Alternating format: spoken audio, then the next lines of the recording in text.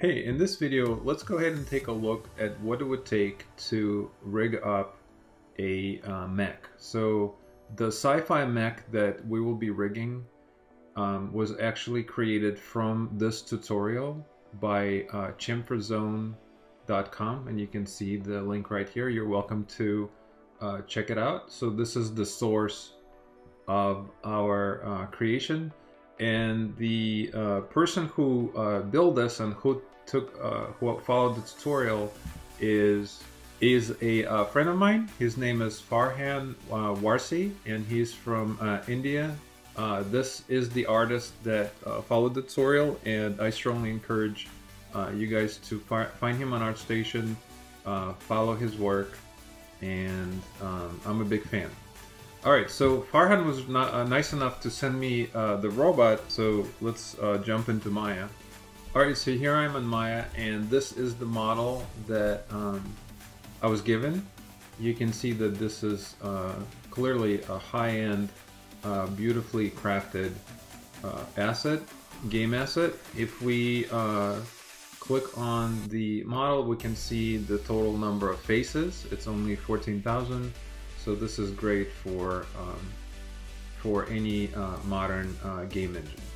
All right, so the challenge today or the task uh, would be to uh, attempt to rig this in some kind of a uh, efficient way where we don't need to do too much, but um, ideally just maybe get him walking and maybe um, you know uh, shooting his uh, his weapons, right? So, um, what would be the best place to start? So usually when I uh, do these kind of um, custom rigs, what I like to do is I definitely like to personally uh, turn off the textures. And um, if you click on this button right here, uh, the default material would be applied to uh, any mesh that you're previewing in Maya. I'm also going to turn off my lights and turn on my uh, wireframe. Uh, and this is kind of an easier way for me to look at the model and try to figure out what would be the best way to uh, rig this, right? And you can also see how it was built.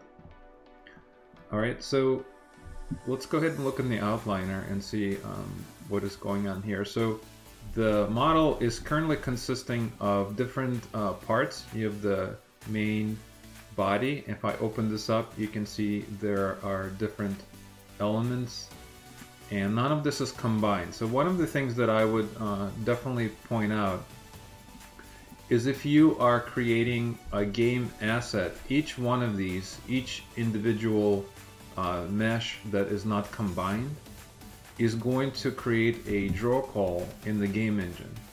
So a model of this complexity um, is definitely uh, is going to create probably a lot of draw calls that are maybe not necessary, right? So like the the body uh, should definitely be merged into one mesh instead of having all the different pieces.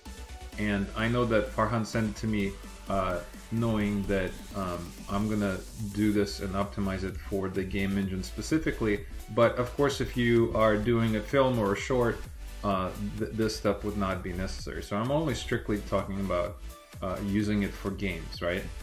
And uh, just keep going down, down, the list, you can see that the left arm, um, and I can press F to kind of zoom in, you can see the beautiful uh, weapon. This also has all the different pieces, right?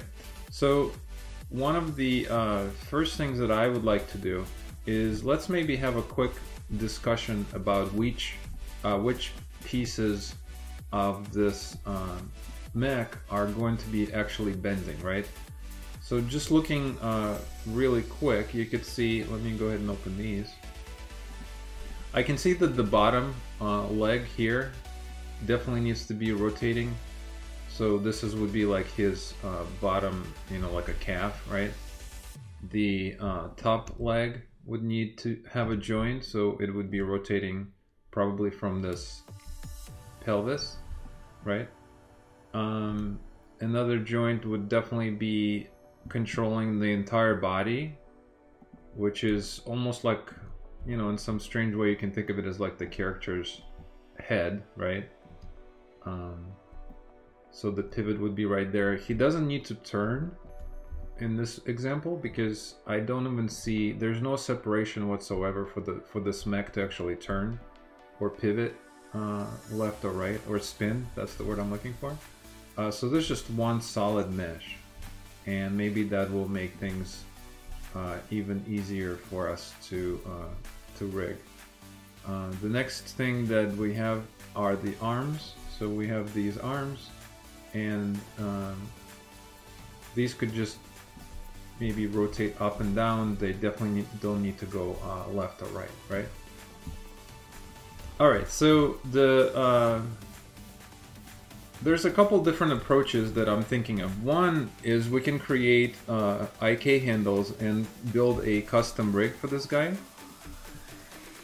Another, uh, maybe a clever approach, if you look closely and you kind of uh, study the design of this uh, model, he almost looks uh, humanoid, right? Like almost like a biped. You have the um, the two legs, you have the body, you can almost see, see the head, and these could be, you know, shoulders and arms.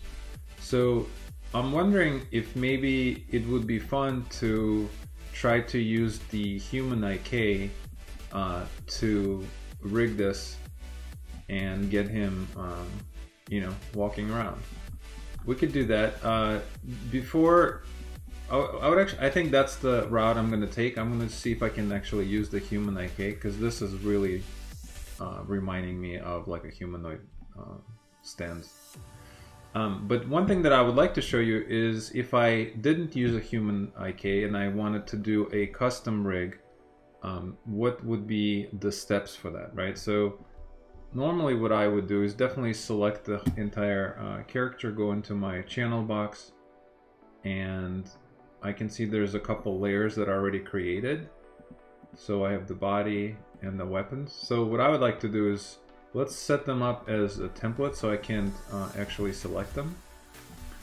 And if you want to create a human IK, uh, if you wanted to create a uh, IK chain, so let's go to uh, rigging and take a look. So if you wanted to create a IK handle, that controls the leg. How would we do it?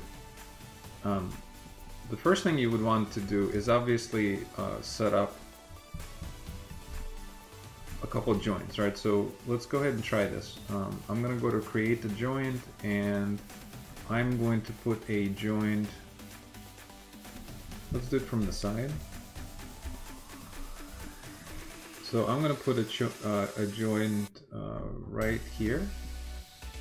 This is sort of the center of um, the leg. And this is going to be more clear in a minute. And then I'm, I think I'm going to put the other one is where the bottom of the leg would be rotating, which is sort of in the middle of this. And one more probably where the foot is. So somewhere, somewhere in the middle of this. Alright, so think of this again as just a leg. Let's go in this perspective view and take a look. The uh, next thing we would need to do if we went this route is obviously move it into position, maybe go into the front view and kind of align it to where it needs to be. And if we use the IK handle, one of the uh, important things is to keep things uh, just like with the human IK uh, leg, um, you want to make sure it's straight from the front view uh, in order to for the IK handle to work and rotate properly. So these three are kind of lined up, which is great. All right, so the next step after that would be, let's go ahead and link some of this stuff. So what I'm gonna do is I'm gonna find uh, the bottom of the leg, which is right here and I'm gonna hold on the shift key and I'm gonna bind it to this joint here. So let's go to skin, bind skin, let's go to options. I'm gonna reset my options and let's go ahead and bind to, let's say selected, just for this example where we're using the IK handle. And um, let's go ahead and say apply.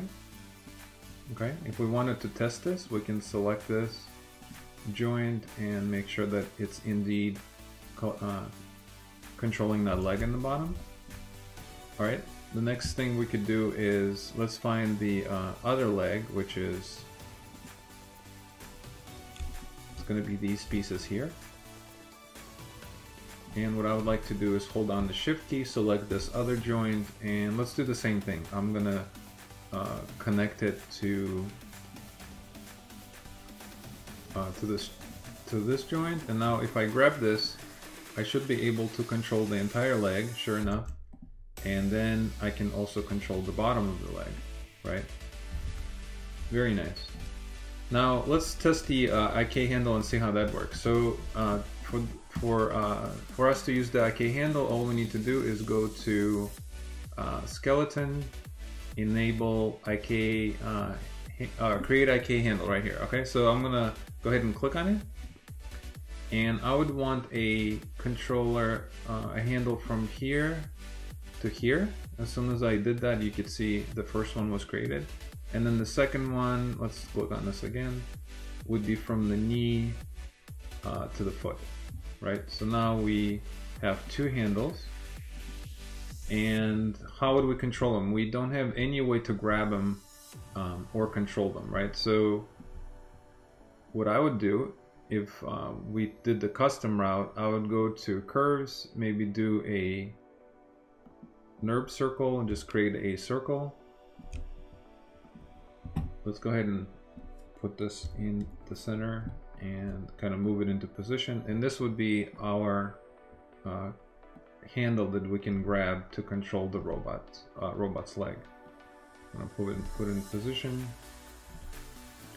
And if you wanted to, uh, one fancy thing that uh, you could do is right click, go to verts, and you can actually create like a custom looking handle just for uh, just for your character, right? So maybe we can move these closer, you know, something something custom looking. All right, so you have a handle. I mean, you have a um, you have a controller. All right, now what we want to do is grab the handle, first one, and the second one, and then hold on the shift key, select our uh, controller, and do a uh, press P. As soon as you press P, you can see that both of the um, IK handles were put inside the controller, and we can actually call this uh, left leg, you know, controller. Alright, so now if I grab this, I should be able to control the leg. And this would be a way you would create like a walk cycle. Um, you know, definitely do it on both sides, obviously. And that would be the process of creating kind of a custom rig for, uh, let's jump out of this mode and we can turn this off for a second just so we can see uh, how it's looking.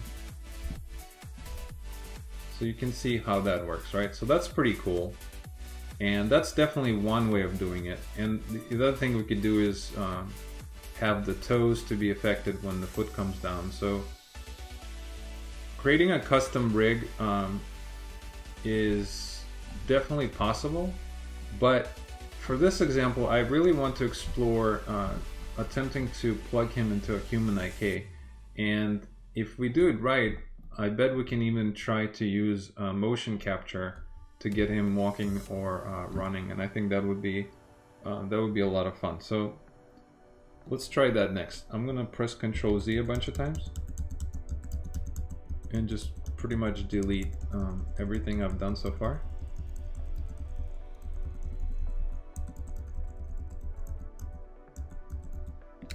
Alright, so here we are back at our default state. Now, if this was, again, a game character, um, I think definitely you would want to merge all these uh, together, right? So maybe let's go ahead and do that. I'm going to, uh, I'm going to turn off my texture once again, put the default uh, material on and turn my lights off and make sure my um, wireframe is on. Okay. I'm gonna select the uh, character. I'm gonna go to poly modeling and press on this button here, combine. And now if I uh, go to my outliner, I can call it mech and clear my uh, history. And now simply delete all this other stuff that uh, came with the robot. So now you can see in the outliner, it's literally just one mesh combined into one solid uh, piece. And this is what you would want uh, if you, again, if you import this into a game engine. Or even, uh, this even could be like a mobile game asset and um, consolidating the mesh and combining it is what you want. All right, uh, so what would be the next step to attempt to set up the human IK? Well, let's do the same thing. Let's go ahead and make sure we can select the character, right? So I'm gonna, uh, gonna delete these uh, previous layers. We don't need them anymore. I'm gonna select my mesh, create a new layer, and just like before, let's go ahead and go into uh, template mode. Very nice. Now let's go to uh, human IK and if you don't see this, you can click on this button here. And I'm going to click on uh, create a skeleton. All right, as soon as I cl click on create a skeleton, uh, this was created in the middle of the grid. If we wanted to, we can go to display, we can go to animation, we can go to joint size, and we can change the thickness of our joints. So for this video, this kind of makes sense. So I'm gonna go with something like this at 3. And let's think about this. How can we customize this skeleton to fit our mech, right? So one of the things um, I could see right away is that we don't need three spines. So let's go ahead and make it, let's simplify this dramatically. I'm gonna say one. You can see now it's just one. Um, another thing I could do is fingers. I, I'm gonna turn off all fingers. I don't need fingers because we have guns. So essentially I just have, um, you know, his arm and his forearm, right? Uh, let's see what else can we turn off. I don't need the toes because we um, we can control the, the, these three toes with uh, custom uh, joints, so we, we can't really use the human toes. Um, and let's see what else can we do. Maybe uh, the neck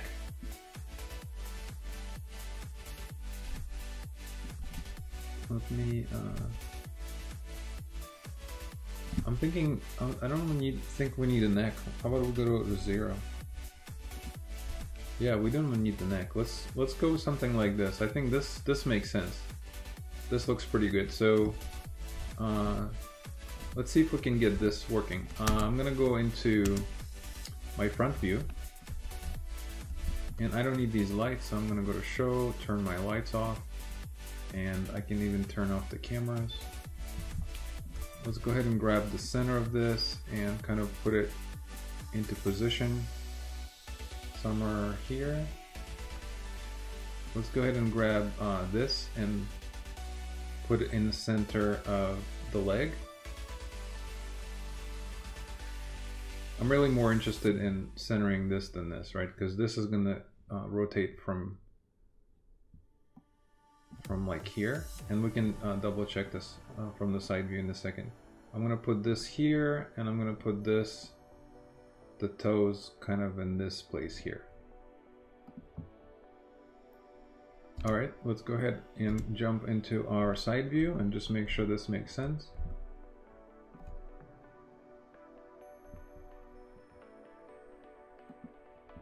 I'm going to put this right in the center of the circle. I'm gonna uh, put this in the center of this circle. And let's go ahead and center this as well. So somewhere around here. Alright. I'm gonna select the right side of my leg and go ahead and click on this button to mirror uh, left to right. Now keep in mind that's his left, so his left to right. Alright, uh, let's see what else can we do. Now this, is going to control kind of the entire uh, top. And if I jump out of the template mode, you can see, uh, let's turn X-ray on. So this right here, when I rotate this, it needs to rotate the entire top of the mech, right? So, which means that this circle here needs to be um, kind of where the pelvis is, which is kind of strange, but this is where we need the rotation to be. Uh, so let's go ahead and go into the side view again. And let's go ahead and turn our um, wireframe on. And I'm just gonna grab this and place it right in the same position as kind of the pelvis is. I know they're kind of overlapping, which is kind of uh, odd, but um, I do need to make sure that it's in the proper place, proper place. So I can actually click on this and let's go ahead and do, uh, let's see, we can go uh, select, we can do inverse, and we can hide everything else. And this is gonna allow us to see uh, better where the neck is. So this makes sense, right? It's right in the middle. Okay, very nice. Let's go ahead and go into the front view. I'm going to do the same thing. I'm going to turn on um, my wireframe. And I don't really need these shoulder clavicles, right? So I think I'm going to turn these off as well. Let's go ahead and turn these off. Uh, and let's go ahead and take this which are going to be the arms, and put them in the middle of where the gun is. So it's kind of hard to see, but what I'm doing is, let's go ahead and select this so we can see it better. I'm going to double click on this, and I'm not really interested in this uh, weapon because the weapon is in the center of the shoulder, and the shoulder needs to be um, controlled by this joint here, right? So I only need to see that. So I'm gonna go uh, do that trick again. I'm gonna do select inverse, hide everything else, and let's just only look at this.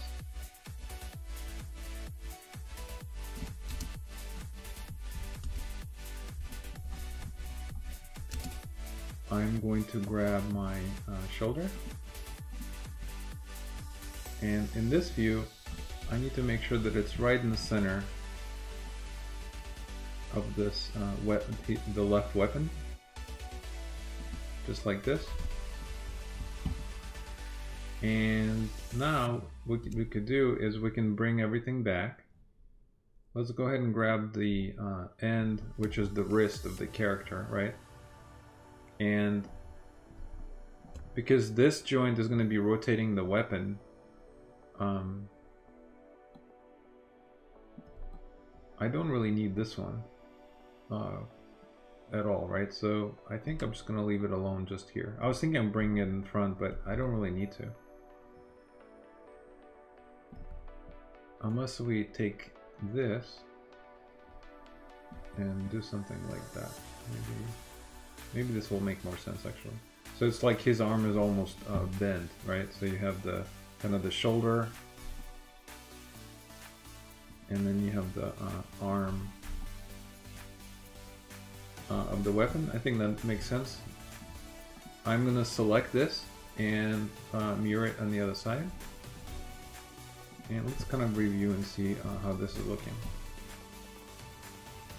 Yeah, I think this makes sense. Alright, let's go ahead and see uh, what happens if we uh, attempt to uh, bind this mesh to the skeleton. All right, so I'm gonna click on um, my mech. I'm gonna hold down shift. I'm gonna select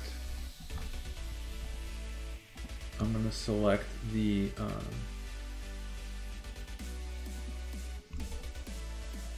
pelvis of the human IK, so it, it selects the entire uh, skeleton, right? And now what I'm gonna do is I'm gonna go to rigging, uh, skin, bind skin, and let's go ahead and reset this again. And I think I'm just gonna leave everything as as the default. Maybe just dial this down. I don't really need the influence to. It's not gonna need to be super um, soft, right? So let's go ahead and say apply and close and just see what happens.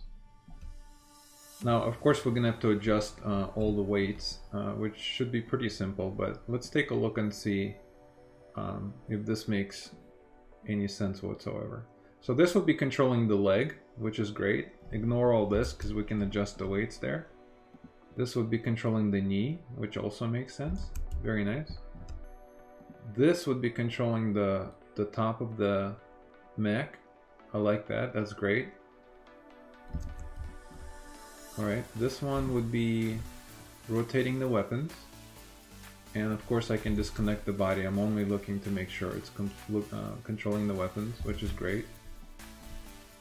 This doesn't really need to be moved, obviously, because there's no um, geometry for that. But, you know, the, the cool thing is uh, we could do during animation, you could grab something like this and move it just a little bit to give it like a kick uh, like a you know like the gun is firing and it's there's a little kick. Obviously it wouldn't be moving the body or just moving the weapon so just maybe a cool little effect. So um, as I'm reviewing this I think this is a, a really interesting and clever way to rig up a uh, mech. So uh, another thing we can do is we can select the rigging the rig and in the human IK settings here we can go to control rig and that's going to give us all the uh, controllers, right? We can turn off the FK mode and just take a look and see what happens here. So very similar to an actual uh, avatar or a character, which means this could probably be plugged in into a motion capture file. Really cool.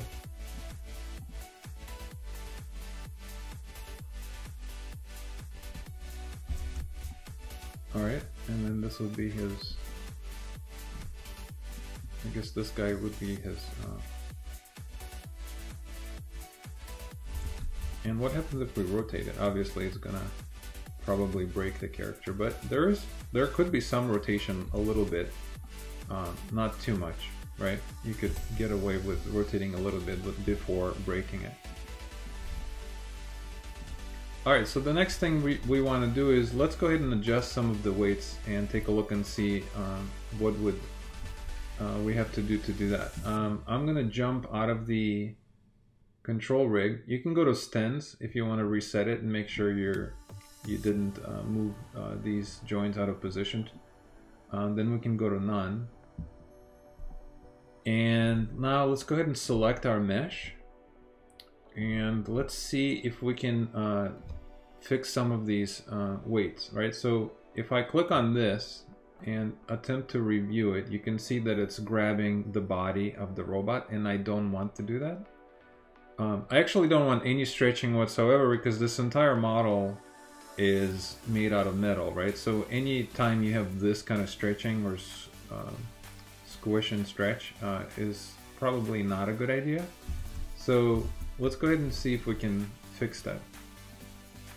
I'm gonna go to my face mode, and I'm gonna uh, make sure I can select my uh, joins. And I'm gonna attempt to just grab all of these. If you hold on the shift you can hold on shift and click uh, period to grow your selection all the way up. So that that will ensure that it grabs all of these pieces here. Um, now what I could do is I can do a select uh, inverse and one of the new things in Maya 2023, uh, and maybe even 2022, is you no longer need to go to verts mode to uh, lock the selection down when you're painting weights.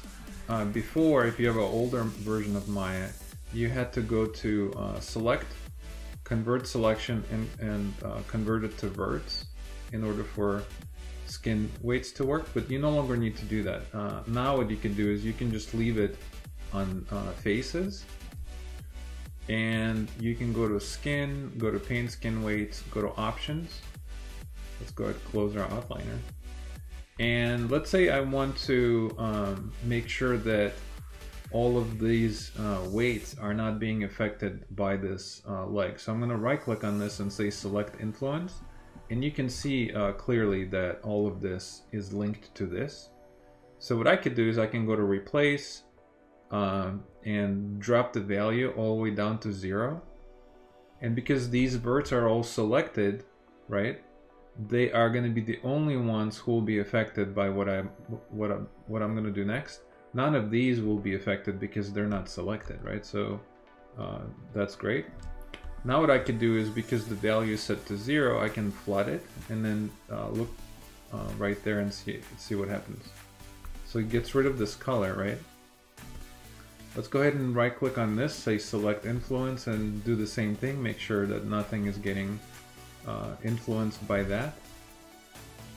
And what I can do now is I can jump let's go back to object mode and let's just test and see if um, when we rotate this joint the body should now uh, not be affected very nice so you can see uh, how easy it is to adjust the skin weights by just flooding the entire mesh. Very cool. Alright so I'm gonna just grab the bottom piece only. Turn off the joins, select, uh, I'm to select all of these guys here. Hold down the shift key and click grow selection and I don't want to uh, grab anything above above here, right? So I'm gonna hold on shift, double click on these. And now uh, I'm gonna go back into paint weights. Make sure that I am uh, affecting this influence here. So I need to just find the right spot. Here go select influence. And I'm gonna flood this 100% because I want all of these points be linked to this joint 100% without stretching. So I'm gonna flood it. You can see it turns white. And let's go ahead and do the same thing here. I'm gonna select just one face, hold on the shift key and just grow my selection and I'm gonna hold on the shift key and double click on that as well make sure I got everybody uh, go back into skin paint uh, paint skin weights and let's go ahead and right click do select influence and I'm gonna flood this value of one as well. And now all of these points are linked to that joint only. Let's go ahead and go to object mode and just test and see. So I'm going to grab, uh, make sure I can, so I'm going to select my joins here. Alright, and you can see how this is rotating without stretching, right? So we, we fixed that issue, which is really cool. So technically, if I go back into my control rig and I can turn off the FK and just grab the, the controllers, you can see how the leg is no longer going to be stretching.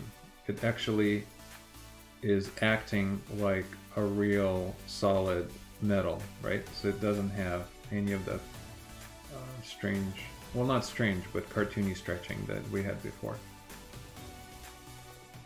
So that's pretty much it. You would just have to, uh, you would just have to uh, repeat the same method of selecting and flooding uh, the mesh to each uh, joint to make sure that it's uh, only affecting that part of the mech and nothing else. And uh, that's pretty much it. And then for um, animation, uh, I think I'm gonna make another video. I'm gonna go ahead and go through this and adjust all the, um, paint all the skin weights. And then in the next video, I will um, create maybe a simple animation of him doing like a simple walk cycle and maybe uh, firing his weapon. I hope you learned something and you enjoyed this video. Please like and subscribe and I'll see you next one.